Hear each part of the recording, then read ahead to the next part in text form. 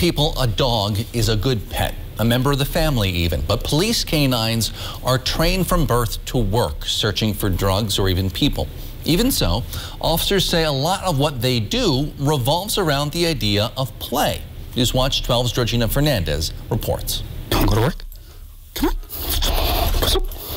Since I was a kid, I've always wanted to be a canine officer. Um, that's one of the goals that I set for myself a long time ago. And uh, throughout my career in law enforcement, I've really enjoyed doing some of the criminal interdiction type of work as far as drug related things go. Kyle McMullen has been working at the Marathon County Sheriff Department for the last year and a half. And in June, he received a new partner. Hero, a two year old shepherd.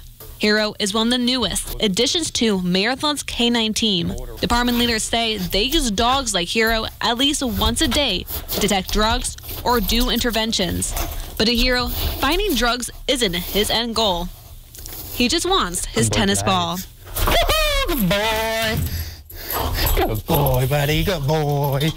This is him in work mode. Um, he knows that there's an odor over there that he is trained to detect, so he wants to get over there and find that and say, hey, Dad, I found this. Can I have my ball now? For Hero, finding drugs is like a game of hide and seek. No human can detect the odors that the dogs can detect, so that helps us further our investigations because we can gain probable cause to search a vehicle. A priceless teammate, McMullen says, that allows deputies to have extra resources while in the field. He is the more intelligent one in this relationship. He knows exactly what he's doing. So he's doing a lot of the work, and I'm kind of just along for the ride. But once the badge and collar are off, he's got a lot to say when we're at home. He's just one of the dogs. So as soon as we go home, he runs to the last place that he, he, he had his favorite toy. He goes and runs in and tries to find his favorite toy.